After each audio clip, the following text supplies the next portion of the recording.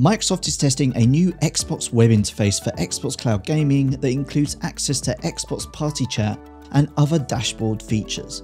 There's now a new guide feature here that lets you quickly get into the last cloud game that you played, you can access messages, or you can even start an Xbox Party Chat. Now, you've been able to do Xbox Party Chat on Xbox Cloud Gaming before, but it had to be within a streamed game and would end when you actually stop playing that particular game. This new interface spans across games, so you can easily swap what cloud games you're playing without disrupting your party chat. It has everything you'd expect, like the settings interface to mute people, you can text people, or you can invite them, all that sort of stuff, just like on an Xbox console.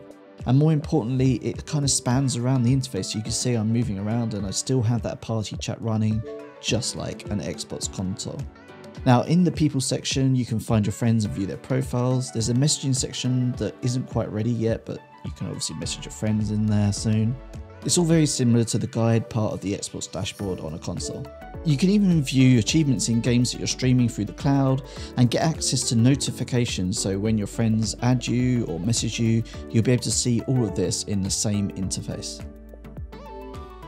This all looks like a great improvement over the Xbox Cloud Gaming interface that currently exists.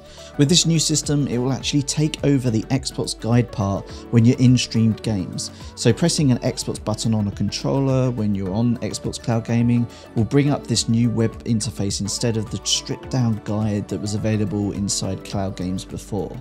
Microsoft is currently testing this with Xbox Insiders, so expect to see this available for all Xbox Cloud Gaming users in the coming months.